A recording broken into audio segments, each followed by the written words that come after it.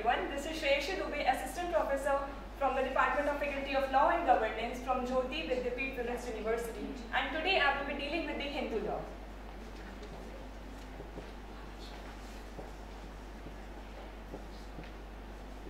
So what is basically Hindus? Who are basically Hindus? So we can say Hindu by religion.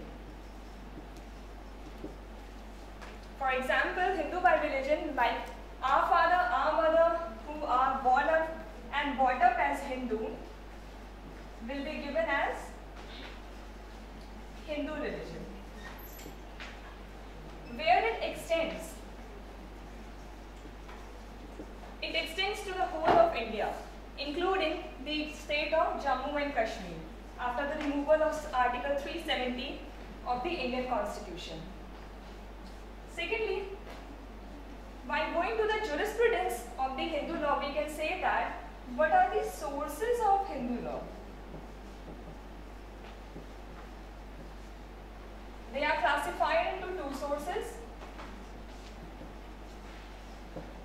First as the ancient sources and the second one is the modern sources.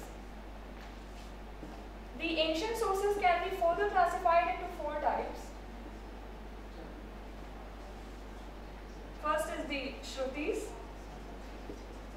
second is the Smritis, third is the customs, and the fourth one is the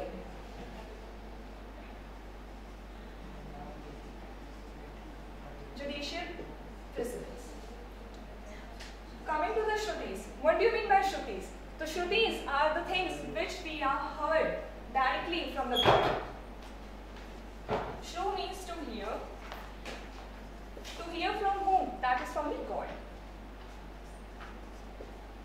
Coming to the Smritis, the Smritis means what is remembered. The third point is the custom. What is custom? So custom must be ancient, it should be continuous, it should not oppose to any public policy, it should not be against any law.